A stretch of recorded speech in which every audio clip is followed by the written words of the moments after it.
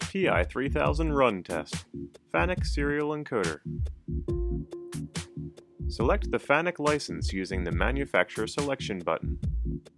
Then select the correct feedback type and number of poles using the Feedback Selection button. This is an Alpha I encoder. Press the debug key to verify proper settings before the run.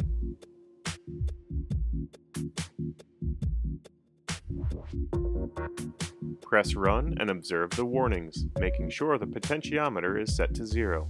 Press Run again to enable the drive. Turn the potentiometer clockwise and the motor will turn in the forward direction. For FANUC motors, the forward direction is counterclockwise.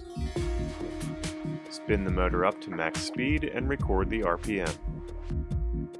Now turn the potentiometer counterclockwise to run the motor at max speed in the reverse direction. The max speed should match in both directions. Turn the potentiometer back to zero and press stop to end the run test.